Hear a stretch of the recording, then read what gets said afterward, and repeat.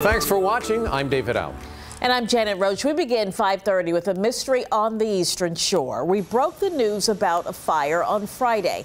Three people died in the building. Now police are investigating it as an arson and a homicide. It happened in Accomack County. Police think someone set a mobile home on fire on Johnson Court. 13 News Now reporter Adriana de Alba spoke to neighbors there tonight.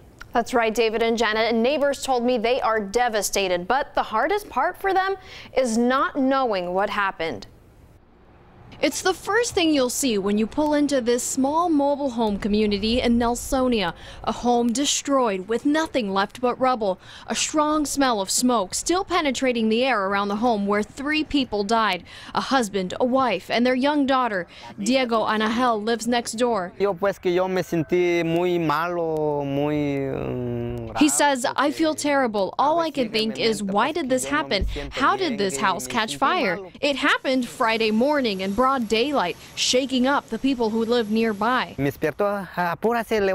He says, I heard an explosion while I was sleeping. My wife woke me up saying, Get up, hurry, move our car. The house is on fire. I woke up and went outside, and that house was completely on fire, filled with smoke, flames, everything. Virginia State Police is investigating this as an arson and triple homicide. The medical examiner's office says the three killed have injuries that just don't line up with a fire. They haven't been identified. Diego tells us the victims lived in a different home up the road before moving into this one. That one burned down too. He says, I feel sad for the family. They were my neighbors. Those are three people. I feel really awful. Neighbors also told me other family members lived in the home. They are the parents of one of the victims, but were working during the fire. Adriana de Alba, 13 News Now.